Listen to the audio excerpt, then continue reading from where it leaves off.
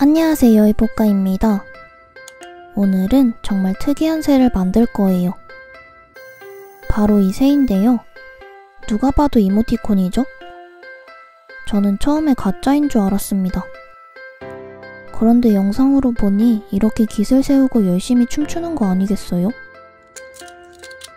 전 조금 충격을 받았습니다. 이 새의 옆모습이 평범한 새와 다를 바 없다는 것에. 제가 뼈대를 만들면서 이게 맞나? 싶은 적이 별로 없었는데요. 이 친구는 만드는 내내 혼란스러웠습니다. 진짜 이게 맞나? 새 머리에 이런 걸 붙이는 게 맞나? 사실 이 요상한 모습은 어깨거리 극락조 수컷이 암컷에게 구애하는 모습이에요. 그것도 아주 절박하게 말이죠. 암컷의 개체수가 적어서 경쟁률이 무려 20대 1을 넘어간다고 합니다. 이 모습으로 춤도 20번 넘게 춰야 해요.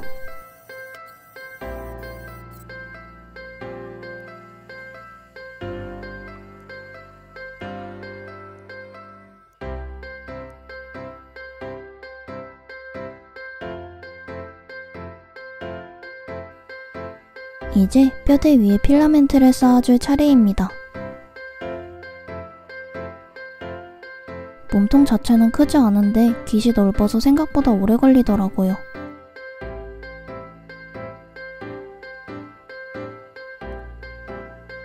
짠!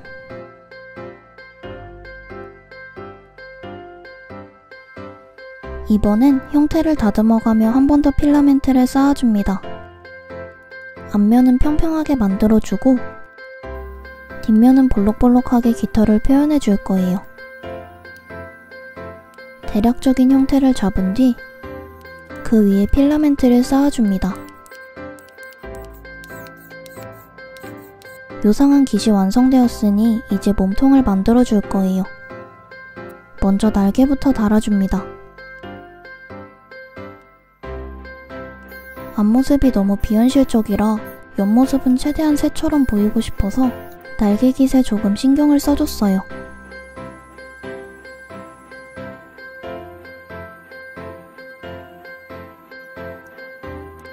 입체적으로 보이게끔 형태를 다듬어 준 뒤 필라멘트를 쌓아 마무리해줍니다.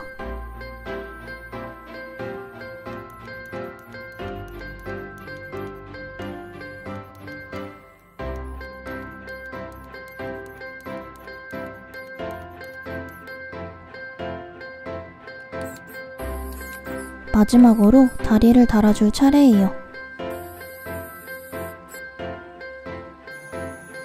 발가락도 만들어 붙여줍니다.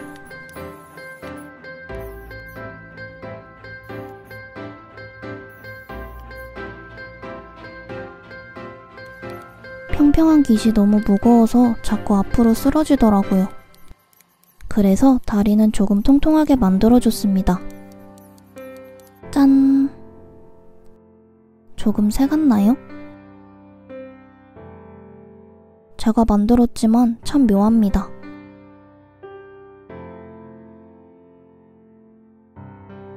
오늘은 표면에 얇은 스크래치를 줘서 결을 표현할 거예요. 표면을 매끄럽게 편 뒤에 스크래치를 줬어야 했는데 귀찮아서 바로 긁었더니 다 하는 데에 상당히 오래 걸렸습니다.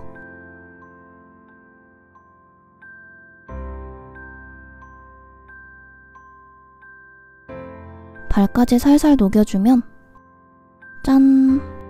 표면을 다듬어주니 훨씬 멋진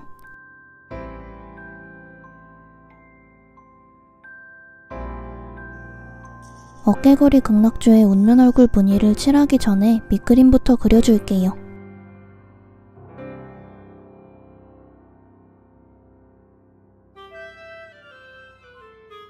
이제 본격적으로 채색을 시작합니다.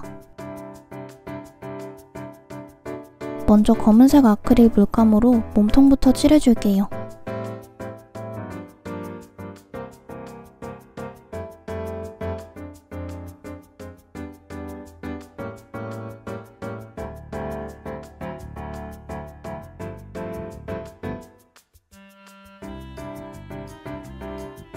이번엔 밑그림에 맞춰 무늬에 베이스를 칠해줍니다.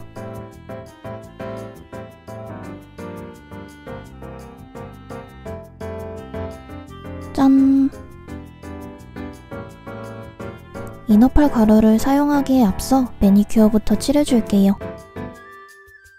이너펄 가루는 몰포나비 만들기 영상에서도 사용한 적이 있는데 그때 굳지 않은 매니큐어 위에 가루를 뿌리고 그 위에 매니큐어를 바르고 또 가루를 뿌리는 대참사를 행했죠.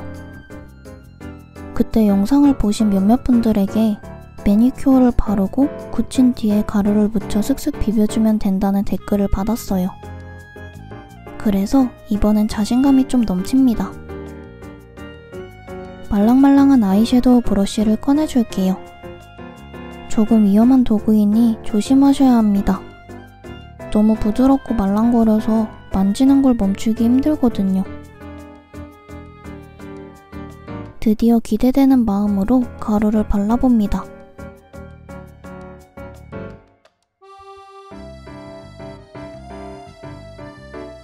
뭔가 듬성듬성 안 묻은 부분들이 있어요.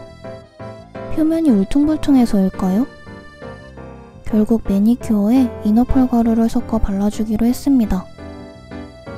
섞는 김에 연두색과 진주색 펄도 추가해줬어요. 매니큐어는 붓으로 발라줍니다.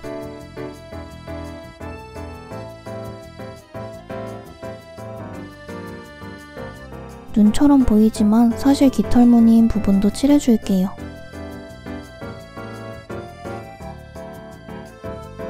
이건 무소블랙이라는 수성 아크릴 물감인데요.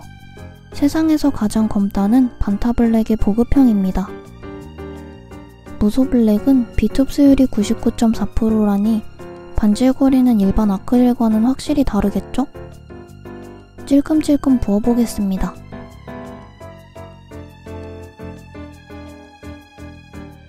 철박철박한 게 물감보단 잉크에 가까운 느낌이에요.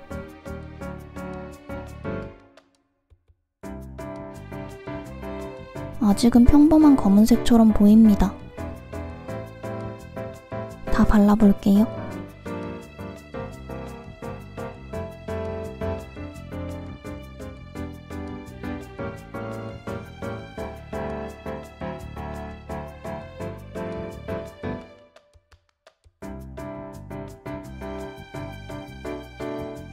일단 너무 반질거려서 어색함까지 느껴지는 몸통에도 무소블랙을 조금 발라주겠습니다. 무소블랙은 수성 아크릴이라 물에 닿으면 사르르 녹아버리더라고요. 몸통은 칠이 벗겨지기 쉬우니 일반 아크릴과 혼합하여 발라주겠습니다.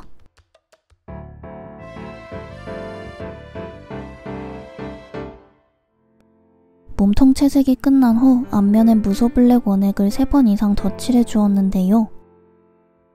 과연 어떻게 되었을까요? 짠!